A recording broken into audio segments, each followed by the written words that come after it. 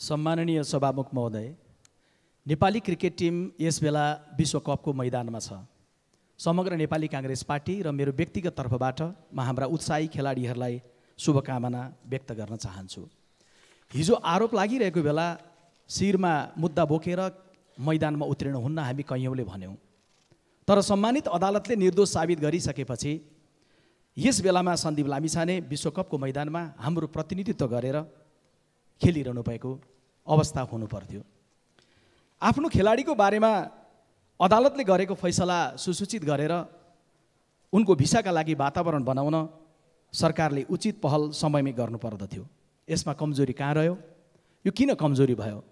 खेलकुद मन्त्री परराष्ट्र मन्त्री र समग्र सरकारको यसबारेमा म सभामुख महोदय मार्फत ध्यान आकर्षण गराउन चाहन्छु।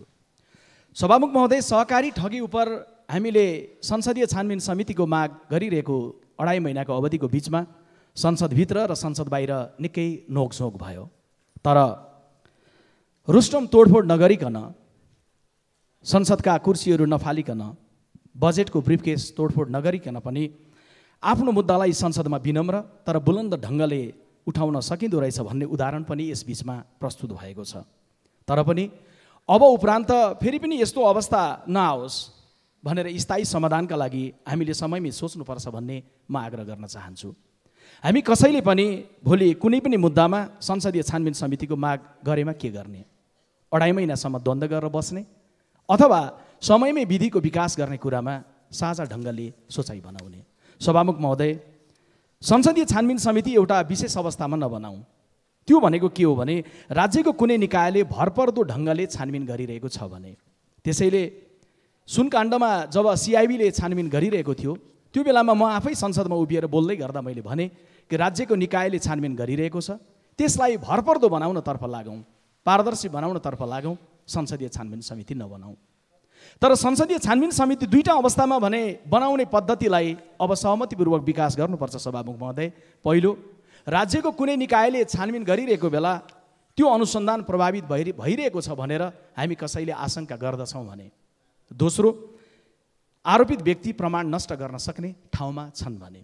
सभामुख महोदय त्यसैले हामीले सहकारी ठगीको सन्दर्भमा संसदीय छानबिन समिति बनाउनका लागि तिनै दुईवटा कारणले माग गरेका थियौँ। अब समिति बनेको छ। समितिमा बडा जिम्मेवार साथीहरू नेतृत्वमा हुनुहुन्छ संयोजकको रूपमा र सदस्यको रूपमा। अब उहाँहरूले अमुक व्यक्ति दोषी नै हुनुहुन्छ या अमुक व्यक्ति निर्दोष नै हुनुहुन्छ भन्ने जबरजस्त ढङ्गको मनोविज्ञानले होइन। स्वविवेकले तथ्यमा आधारित भएर वस्तुगत भएर अनुसन्धान गर्न सक्नुहुनेछ र सही तथ्य देशका समक्ष संसद मार्फत राख्नुहुनेछ म आग्रह गर्न चाहन्छु। सभामुख महोदय यसो भन्दै गर्दा प्रतिपक्षले उठाइरहेको नाम उल्लेख गरिनुपर्छ भन्ने कुरा नराखिरहँदै गर्दा कतिपयले चिन्ता गरेको चासो राखेको मैले पाएको छु। यसमा हामी स्पष्ट छौँ कि गृहमन्त्रीजीको नाम त्यहाँ नलेखिए पनि सबाट उठेका पाँच छवटा सहकारीहरू लेख्दै गर्दा मलाई लाग्छ सिम्बल नम्बर त्यहाँ लेखिएको छ। नाम नलेखिँदै गर्दाखेरि पनि गोर्खा मिडिया भनेर ठेगाना लेखिएको छ। त्यसैले यसमा चिन्ता गर्ने भन्दा अब वस्तुगत भएर पूर्वाग्रह मुक्त भएर छानबिनमा केन्द्रित हुनुपर्छ यो आग्रह गर्न चाहन्छु। सभामुख महोदय यो अढाई महिनाको अवधिमा हामीले बोलेका शब्दहरू र गरेका कर्महरू उप केही समीक्षा हामीले गरेरै जानुपर्छ। भोलिको लागि यो जरुरी छ भन्ने मलाई लाग्छ। खास गरी पाँच व्यक्तिको या भनौँ पाँच थरीको? पहिलो सम्माननीय प्रधानमन्त्रीको दोस्रो स्वयं सम्माननीय सभामुखको तेस्रो सम्माननीय पूर्व प्रधानमन्त्री सत्तारूढ गठबन्धनको सबैभन्दा ठुलो दलको अध्यक्षको चौथो गृहमन्त्रीको र पाँचौँ स्वयं प्रतिपक्षको। पहिलो संसदीय छानबिन समिति बनाउनका लागि सम्माननीय प्रधानमन्त्रीको सकारात्मक र निर्णायक भूमिका रह्यो म प्रशंसा गर्न चाहन्छु। तर जेठ सात गते सोमबारको परिदृश्य म आज स्मरण गर्न चाहन्छु सभामुख महोदय विश्वासको मत लिनका लागि बाइस दिनको समय अझै बाँकी थियो। किनकि जसपाले वैशाखको एकतिस गते समर्थन फिर्ता लिएको थियो जेठ उन्तिस गतेसम्म विश्वासको मत लिनलाई बाँकी थियो अर्थात् आज मैले संसदमा उभिएर बोलिरहेको दिनभन्दा अझै पाँच दिनको समय बाँकी थियो। ठन्डा दिमागले मनन गरौँ। देशको प्रधानमन्त्रीले विश्वासको मत लिने वातावरण स्वस्थ शान्त र हार्दिक ढङ्गको उचित हुन्छ कि कोलाहलपूर्ण? उचित हुन्छ। त्यो हतारो त्यो आवेग त्यो बलजप्ती र त्यो वातावरणको बिचमा विश्वासको मत लिँदै गर्दा सामान्य सभामुख महोदय प्रदीप गिरीको शब्दमा भन्नुपर्दा त्यो सङ्ख्या तन्त्रको जित थियो त्यो लोकतन्त्रको गरिमा थिएन। हामी नबिर्सौँ। लोकतन्त्र भनेको गणितभन्दा बढी गरिमा हो। सभामुख महोदय त्यस्तो परिदृश्यमा दृश्यमा प्रकट हुनुपर्दथ्यो सम्माननीय सभामुखको समन्वयकारी व्यक्तित्व। देशले सुन्ने गरी सम्माननीय सभामुखले भन्नुपर्दथ्यो कि प्रधानमन्त्रीज्यू विश्वासको मत लिने तपाईँको अधिकारको रक्षा म गर्दछु। तर प्रतिपक्ष आफ्नो ठाउँमा उभिएको बेलामा संसदलाई रणभूमि बनाएर म तपाईँको पक्षमा रहेको सांसदहरूको शिर गणना गर्न सक्दिनँ। तपाईँ पहिला वातावरण बनाउनुहोस् किनभने समय बाइस दिन बाँकी छ। तब देशले भन्ने थियो क्या बात सभामुख महोदय तर सम्माननीय सभामुख महोदय माफ गर्नुहोला त्यो समय गुज्रिसक्यो। हाम्रो असहमति दर्जो सभामुख महोदय त्यो दिनको यहाँको त्यो कालखण्डको यहाँको भूमिकाका प्रति। सभामुख महोदय यो अवधिकै बिचमा सम्मानित सर्वोच्च अदालतले गिरिबन्धु प्रकरणमा पूर्ण पाठ सार्वजनिक गर्यो। काङ्ग्रेसबाट हामी कोही कसैले पनि त्यसबारे कुनै टिप्पणी गरेकै थिएनौँ। हामी कसैले पनि यो भनेका थिएनौँ कि सम्माननीय पूर्व प्रधानमन्त्रीज्यू तपाईँको नेतृत्वको सरकारले गरेको निर्णयलाई त सम्मानित अदालतले नीतिगत भ्रष्टाचारको दायरामा ल्याएर उभ्याएको छ। हामी बोलेकै थिएनौँ। तर उहाँले फायर खोल्दै भन्नुभयो काङ्ग्रेसले गिरिबन्धुको सत्तरी बिघा जग्गा बेचेर कमिसन खायो। के यो आरोप सही थियो? रौद्र रूप धारणम गरेर उहाँले काङ्ग्रेसप्रति आरोप लगाएपछि सामान्य सभामुख महोदय मौन धारणम गर्न सकिएन प्रतिवाद गरियो। प्रतिवाद गरेपछि फेरि प्रत्युत्तर आयो र भनियो कि नेपाली काङ्ग्रेस पार्टीले लिखित रूपमा माफी माग्नुपर्छ। सामान्य सभामुख महोदय संविधान लेख्दा सँगसँगै बसेर लेखेका थियौँ।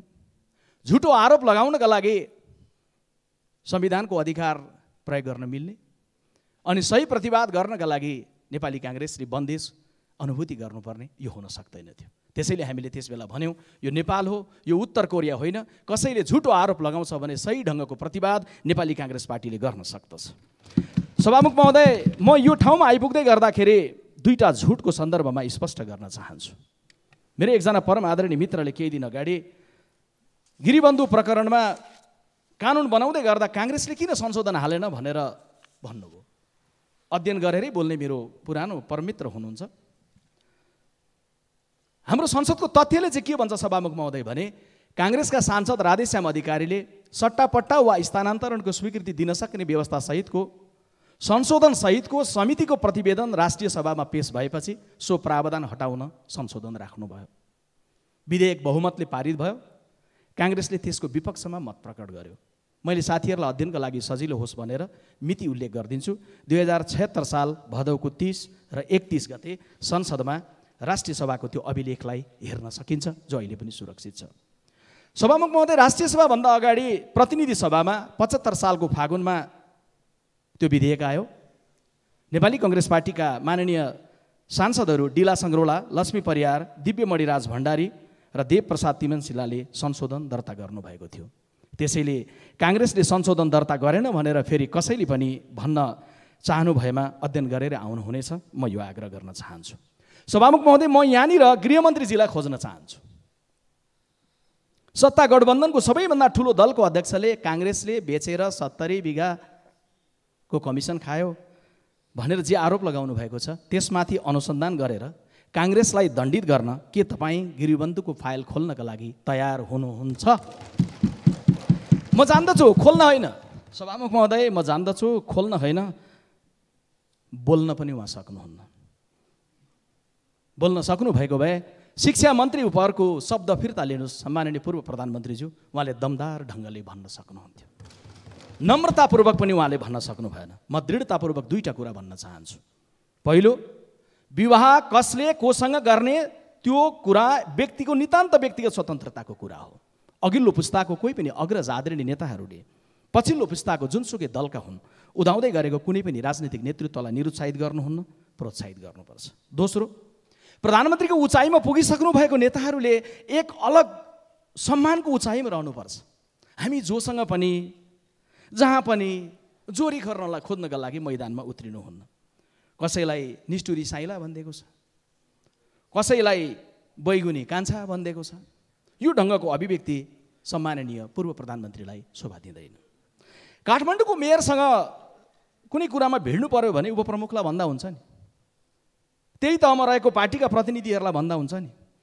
तिनले त्यही भने भइगयो नि कि मेयर साहब संयमले बोल्नुहोस्। जेल बसेका नेताहरूको सम्मान राखेर बोल्नुहोस् या तपाईँको शैली बदल्नुहोस् तर आफै सुरिनु भयो बोल्न।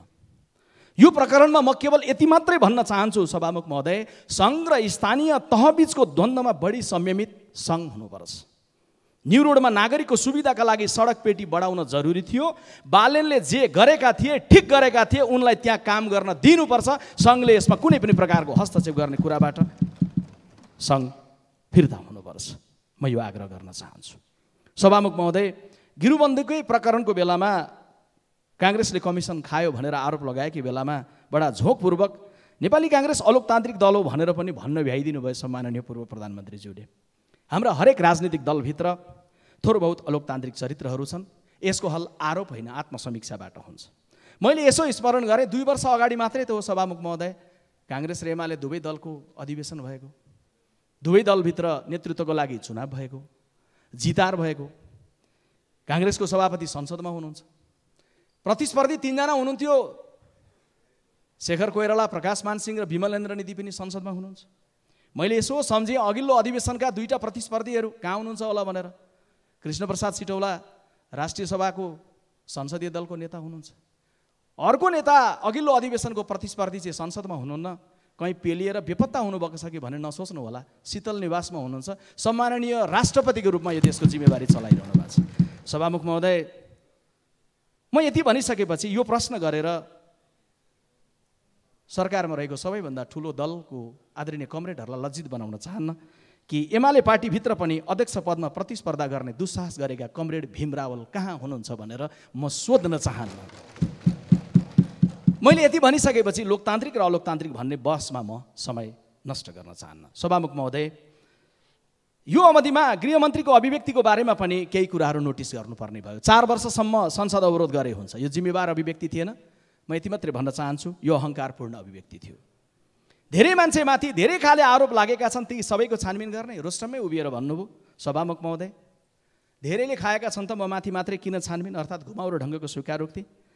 म यति मात्रै भन्न चाहन्छु छ्यालिस साल यताको सबै फाइल खोल्न काङ्ग्रेस तयार हो भन्ने पनि प्रश्न त्यो किताबाट आयो। हामी तयार हो सभामुख महोदय हामी जान्न चाहन्छौँ कहिले बन्छ समिति कहिले बन्छ आयोग।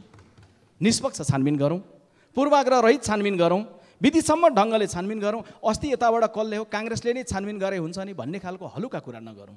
अमुक दलले एमाले अर्को दलले काङ्ग्रेसले छानबिन गर्ने होइन। विधि छ प्रक्रिया छ कानुन छ त्यस बमोजिम हामी छानबिनको प्रक्रियामा गम्भीरता भएर पूर्वक अगाडि जाउँ पूर्वाग्रह मुक्त भएर छानबिन गरौँ। कसैको दुईवटा पासपोर्ट हुन्छ छानबिन गर्नु नपर्ने। कसैको नागरिकतामा अर्को नम्बर मिल्यो रे भनिसक्दै गर्दाखेरि कारागार पुग्नुपर्ने। भयो कि त भन्दा खोदा पहाड निक्ला चुवा यो प्रकारको सन्दर्भ हुँदै गर्दा नैतिक जिम्मेवारी कसैले लिनुपर्छ कि पर्दैन सभामुख महोदय? यही ठाउँमा आइपुग्दै गर्दाखेरि म स्मरण गर्न चाहन्छु सभामुख महोदय संसदको रोस्टम के त्यो जोक हो? के त्यो कसैलाई झोक व्यक्त गर्ने ठाउँ हो? कि कसैले उभिदिने र भनिदिने कि संसदमा विदेशीहरूको एजेन्ट छन् जसले यहाँको सूचना बेच्ने गर्दछन् भनेर भनिदिने? कुनै टेलिभिजनको प्रस्तुताले प्रश्न गर्न पाउनुहुन्छ सभामुख महोदय? आशंका गर्न पाउनुहुन्छ सभामुख महोदय? तर गृहमन्त्रीले प्रश्न गर्ने होइन गृहमन्त्रीले रियाक्सन राख्ने होइन गृहमन्त्रीले एक्सन गर्ने हो रियाक्सन व्यक्त गर्ने होइन।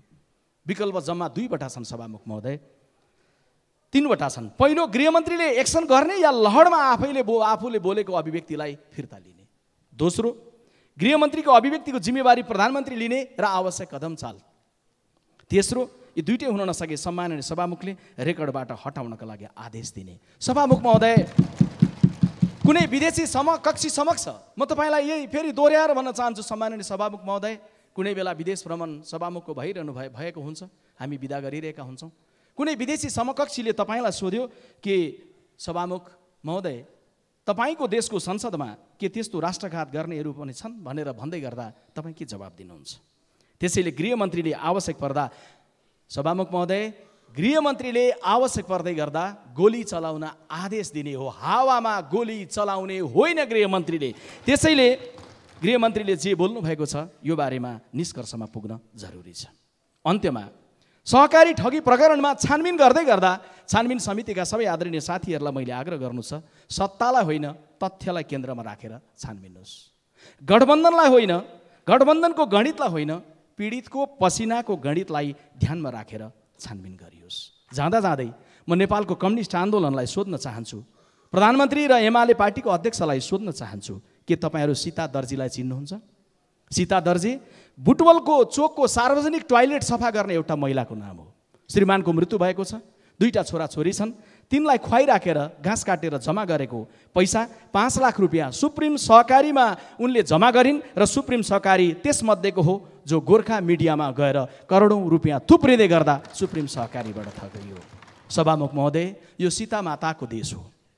सीता माता मन्दिरमा पूजा गरिन्छ। र एउटा सिधा टोयलेट सफा गरेर आएको पैसा घाँस काटेर आएको पैसा लुटिन्छ।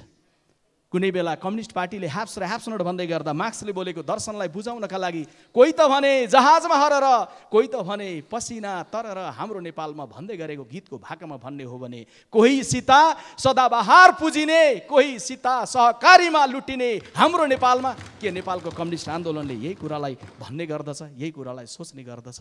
सभामुख महोदय चोकमा मकै पोलेर बेच्ने हाम्री आमाहरू चोकको कुनामा जुत्ता सिलाएर बसेर घाँस काटेर सहकारीमा रकम जम्मा गर्नेहरू यो देशको प्रत्येक सहकारीमाथि जहाँनिर अपचलन भएको भनिएको छ। त्यहाँ साँचो तथ्यपूर्ण छानबिन होस्। म यो बेलामा यसो भन्दै गर्दाखेरि सहकारीका सञ्चालकहरू ती सहकारीका सञ्चालकहरू जसले साँच्चै विधिपूर्वक चलाउनु भएको छ जसले साँच्चै आफ्नो सहकारीलाई विधिसम्म ढङ्गले सञ्चालन गर्नुभएको छ र कुनै अपचलनको मुद्दा छैन। म मेरो गाउँठाउँको मेची कृषक सहकारीलाई सम्झिन चाहन्छु। म एनएमसीलाई सम्झिन चाहन्छु। मेरो जिल्लाको मुटुको सहारालाई सम्झिन चाहन्छु। सभामुख महोदय त्यस्ता सहकारी सञ्चालकहरू जो विधिमा छन् तथ्यमा छन् कसैको रकममाथि अपचलन नगरी चलाएका छन् ती सबै सहकारीहरूलाई आरोपित गर्ने काम हामी कसैले पनि कहीँ पनि गर्नुहुन्न।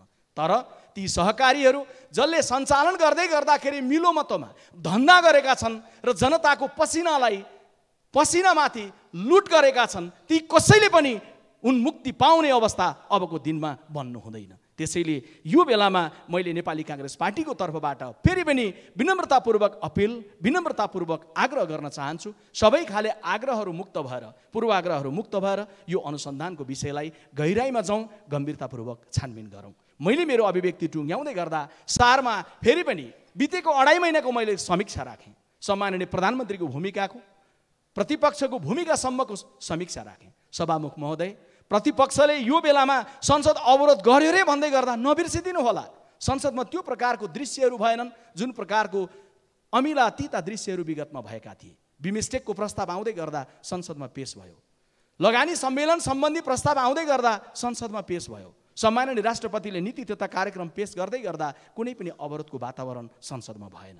प्रतिपक्षले जिम्मेवार ढङ्गले सही ढङ्गले शालीन ढङ्गले विनम्र ढङ्गले तर बुलन्द ढङ्गले उठाएको आवाजको बदौलत आज सहकारी छानबिन समिति बनेको छ र सीता दर्जी जस्तो बुटवलको चोकमा पसिना बगाएर काम गरिरहेको एउटा श्रमजीवी महिलाको पसिनाको रक्षा हुने अवस्थामा हामी पुगेका छौँ। यो बेलामा सर्वहारा त्यो वर्गको रक्षा त्यो जम्मा गर्ने रकम जम्मा गर्ने वर्गको रक्षाको सन्दर्भमा हामी गम्भीर बनौँ। संसदीय छानबिन समिति त्यही विषयमा गम्भीर बन्न सकोस्। यति भनिराखेर म मेरो अभिव्यक्ति टुङ्ग्याउन चाहन्छु। सम्माननीय सभा